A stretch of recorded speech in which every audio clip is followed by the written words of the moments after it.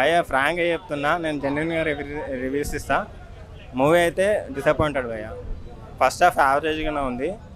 Interval bank ఒకటి కొంచెం interesting అనిపించింది బట్ సెకండ్ హాఫ్లో కూడా ఆ రీచ్ అవ్వలేదు. ఒక మదర్ సెంటిమెంట్ బాగుంది.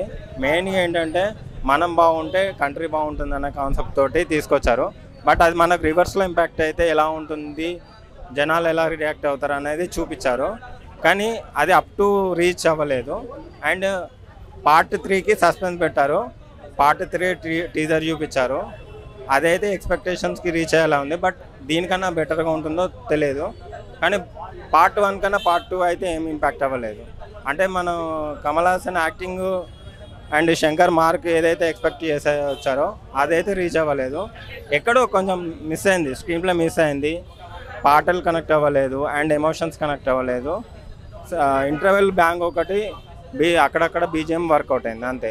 తర్వాత శంకర్ గేమ్ చేంజర్ రామ్ చరణ్తో తీయబోతున్నారు. మరి ఈ సినిమా రిజల్ట్ ఆ మూవీపై ఏమైనా ఇంపాక్ట్ చూపిస్తుంది?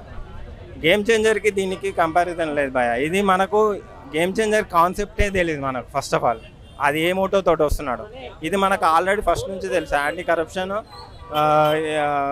మీద తీసాడని సో దానికి స్క్రీన్ ప్లే ఎలా ప్రజెంట్ చేస్తారనేది ఆ ఇంట్రెస్ట్ తోటే వచ్చారు. గేమ్ చేంజర్ ఏంటంటే అసలు మనకు రామ్ చరణ్ ఏ యాంగిల్లో చూపిస్తున్నారు ఏంటి అసలు స్టోరీ ఏంటి అంటే చెప్పలేదు కాబట్టి దానికి ఇంట్రెస్ట్ ఉంటుంది. నాకైతే సెకండ్ హాఫ్ బాగా నచ్చింది బ్రో స్లో అంటారు అది అంటారు ఏం కాదు కానీ ఫస్ట్ హాఫ్ ఓకే స్లో ఉంటుంది అంటే కొంచెం స్టోరీలోకి వెళ్ళడానికి టైం పడుతుంది బట్ సెకండ్ హాఫ్ చాలా బాగా తీశాడు.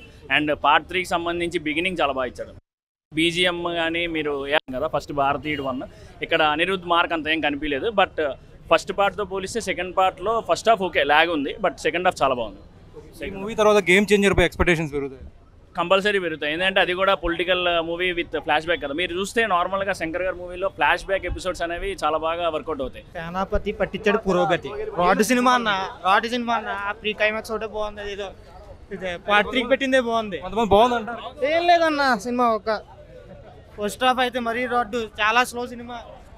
కళాకాండం అన్న శంకర్ అన్న కళాకాండం. అంటే శంకర్ గతంలో ఒకే ఒక్కళ్ళు లాంటి సినిమాలు తీశారు లేదన్న అది అప్పుడు